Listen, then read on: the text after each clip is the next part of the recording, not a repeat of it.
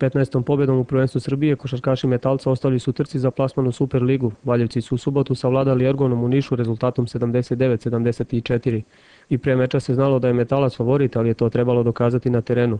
Valjevci su vodili tokom čitave utakmice najviše u 25. minutu kada je bilo 36-53. U samoj završnici domaćini su imali priliku da preokrenu rezultat, naime kod skora 74-77 Nišlije nisu realizovale dva napada. Na drugoj strani Panić je pogodio dva slobodna bacanja i bodovi su zasluženo pripali Metalcu. Pojedinačno Kasabašić je postigao 17, Ljubović i Bičević po 13, dok je Panić pridodao 11 koševa.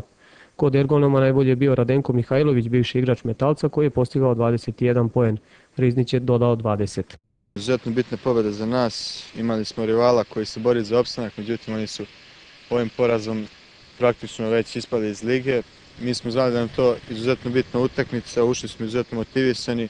Eto, držali smo nekih 30 minuta, tu prednost od 15 plana prednost, na kraju protivnik je pogodio neke trojke, smanjio prednost, ali ipak smo na kraju slavili, eto, osvojili nove bodove koji su izuzetno bitni u borbi za Superligu. Ovom pobedom Metalac je zadržao velike šanse da zauzme jedno od prva tri mesta na kraju lige koje vode u doigravanje sa NLB ligašima. Evo i kompletnih rezultata 21. kola prvenstva Srbije, OKK Beograd Mega Vizura 69-71, Radnički Kragujevac Tamiš 65-73, Novi Sad Vojvodina 80-67, Borac Mašinac 82-66, Radnički basket napredak 86-81, dok je utakmica u kojoj će se sastati sloga Proletar Naftagas na programu u ponedeljak 15. februara od 19 sati i 30 minuta.